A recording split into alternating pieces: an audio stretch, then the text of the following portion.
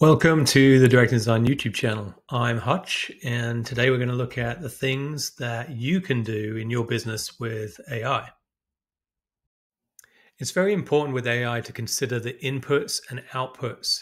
So, the data that we put into an AI agent will drastically affect what the output is. So, imagine if I asked you to make me a chair, but I didn't give you any specifics. What I had in my mind and what you have in your mind will be completely different and the possibilities are endless. So, the first thing that AI could do for your business is to automate or streamline a process. Now, what that process is up to you. It might be to do with your social media, it might be to do with processes in communicating to customers. There's any number of possibilities. If you can think it, you can probably do it. The second thing that comes to my mind is to enhance the customer experience through AI. If you're a custom home builder, for example, you could create a system that updates your customer at various places in the building process to enhance the experience where they can share materials with their family and share the excitement of the build project.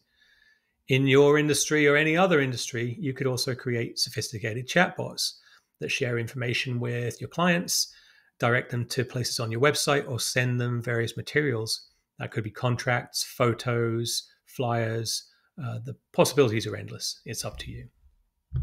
Number three is data management. Using AI, you can access data and create presentations, training materials, or contracts. You might also use data to predict and forecast for future revenues. Number four, you can use AI to create materials, whether business cards, flyers, logos, video material, or audio.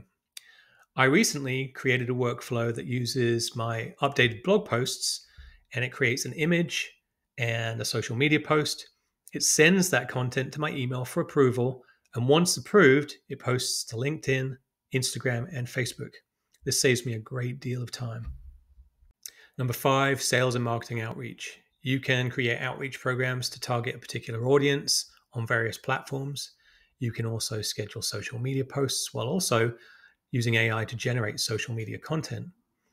Imagine if your whole sales and marketing funnel could be automated through AI. Well, that's all for this video. Thank you for tuning in.